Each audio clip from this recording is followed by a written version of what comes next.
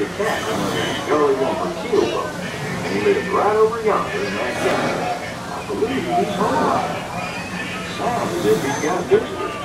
Must be the king of the wild Drop those frontier, rods. Crockett, and his good friend Georgie Russell.